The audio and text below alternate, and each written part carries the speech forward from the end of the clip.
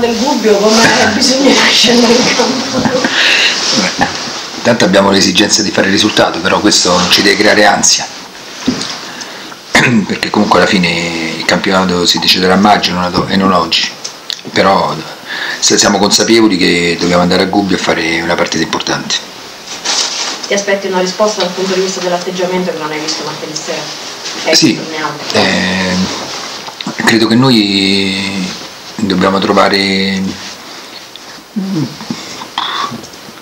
dobbiamo trovare quell'equilibrio che ci porti ad avere, a affrontare le partite con, con, la stessa intensità in cui abbiamo affrontato alcune partite, le dobbiamo affrontare tutte in questo modo, quindi dobbiamo assolutamente far sì che le partite con Triestina su di tiro, ma anche San Benedettese, ma anche altri non siano episodi, ma siano...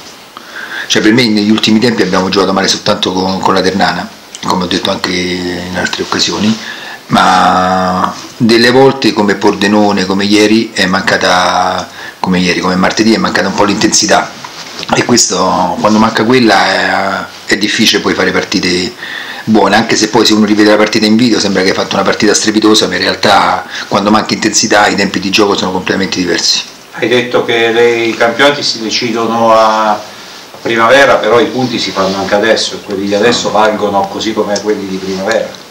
Questo è sicuro è ovvio, nel senso che i campionati si dice da primavera ma i punti vanno fatti sempre e comunque, potevamo farne più,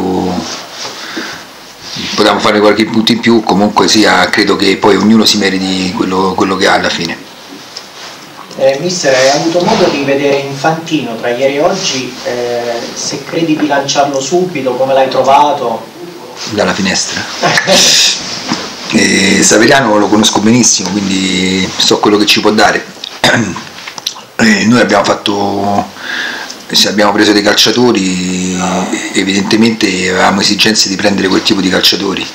E questo tutti insieme, quindi non solo l'allenatore, ma tutto lo staff tecnico, dirigenziale e via dicendo, ha, abbiamo deciso di fare una strada. Di fare una strada e per quello che mi riguarda io non è che alle prime difficoltà non decido più di, di, fare una strada quindi se abbiamo preso dei giocatori che venivano da inattività importanti come Giorgi, come magari Polak e anche un po' Saveriano perché anche se, se si è allenato ha giocato poco e no, bisogna dare fiducia e proprio come dicevo prima sicuramente ci torneranno utili nel corso della stagione ma dobbiamo portarli a farli giocare se poi devono star, se devono star fermi è meglio che stavano fermi loro, chi a casa che nelle altre squadre però perché Giorgi l'hai lanciato subito invece? Dalla finestra. Sì, sempre dalla finestra. E gli altri invece stai facendo un inserimento graduale. Giorgi non giocava da un anno, quindi in teoria... Intanto credo che, che Giorgi sia un giocatore di, di, uno spessore sia umano sia tecnico fuori dalla portata, fuori dalla norma e lanciato subito avevamo esigenze di... a prescindere non è stato lanciato subito perché è entrato gli ultimi 15 minuti a San Benedetto e, e veniva già da 10-15 giorni, due settimane di allenamento con noi, quindi non è stato lanciato cioè, così. Eh, però dopo titolare. Dopo titolare perché comunque non avevamo nessun, nessun altro calciatore che potesse, che potesse, giocare, ma anche perché credo che sia giusto. Eh. Per me Giorgio è un giocatore importantissimo per noi per raggiungere il nostro obiettivo, un giocatore fondamentale.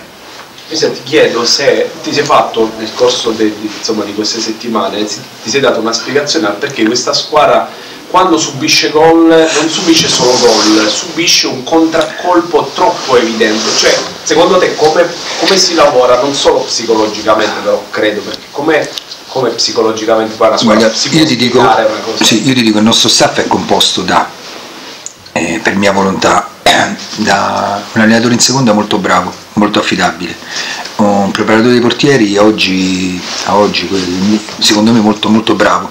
Preparatore atletico molto bravo, abbiamo un match analisi che non lavora sul posto, che è di Domenico Biagio, che è molto bravo, e abbiamo anche un mental coach che non lavora sul posto, per, per, per ovvi motivi, e che fa l'analisi, viene a vedere qualche partita e fa l'analisi delle posture, di queste cose. Quindi eh, credo che, che, abbiamo uno staff che possono trovare spiegazioni, ma è difficile poi dare una spiegazione, possono magari trovare spiegazioni, ma non così in maniera così chiara, nel senso che è difficile dire sempre quello che non, che non va, perché calcio, io vorrei sempre ricordare una cosa, il calcio è arte, non è una scienza esatta, è arte. E come tale va vissuto. È pieno di, pieno di variabili che nessuno di noi può controllare, neanche i più, i più accaniti sostenitori di un qualcosa, di un, di, un credo, e quindi credo che la cosa più è la variabile che noi, non, non si, cioè noi dominiamo 30 minuti le, le, la squadra che abbiamo incontrato che è l'Imolese sì, non ci ha mai calciato in porta. La prima occasione con marcature blande con, eh, con una serie di errori magari eh, chi ha letto una cosa chi ne ha letto un'altra quindi ci sta però non è possibile che se noi una volta sbagliamo una lettura poi crolliamo. Quindi, è, una, è difficile dare una spiegazione certa è così. Possiamo dire possiamo darci tante, tante spiegazioni però io credo che debba chiederlo io a voi che state qui da più anni perché succede questo non, non adesso ma da più perché anni. le, le, le, ci sono anche delle situazioni differenti per esempio il 2-1 di San Benedetto psicologicamente è diverso lì è più giustificabile. Prendi l'1-1 e poi prendi il 2-1 perché lo stadio si accende una partita che avevi dominato lì è più spiegabile. Però in casa eh, prendi l'1-0 andare poi dopo 7 minuti sotto 2-0 significa praticamente condannarsi alla sconfitta. Ecco. Sono anche situazioni No. diverse, non so se anche tu sei dello stesso. Eh, sì, sono situazioni sicuramente diverse perché comunque la San Benettese ha avuto un trasporto emotivo diverso dopo l'Uno Bari, ma noi non, eh, credo che non abbiamo subito il 2-0, per, abbiamo subito il 2-0 su una punizione da tre quarti campo, su uno schema di lettura facilissima e c'è stato un errore individuale senza colpevolizzare nessuno.